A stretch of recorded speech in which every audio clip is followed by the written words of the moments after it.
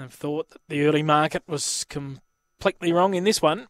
I guess we'll see how well they've read this race. The green light is on. The was in motion now at seventy. Burning Express. Jumps clear fave. They're ready. And they're racing now. Master moment from the inside. The first one to bounce out and will lead Burning Express going into the back. Go Rosie a length away. Third from Supersonic Saz and Dial Triple One. They're about to come off the back and it's Master moment three quarters. But Burning Express closed quickly and swept straight by.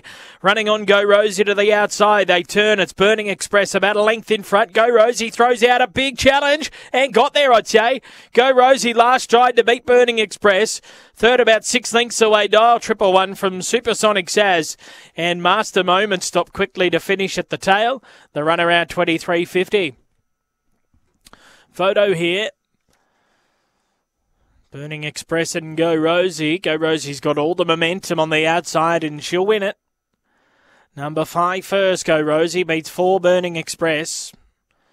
So it's five from four. Third in the race, number eight, Dial Triple One, five, four, and eight.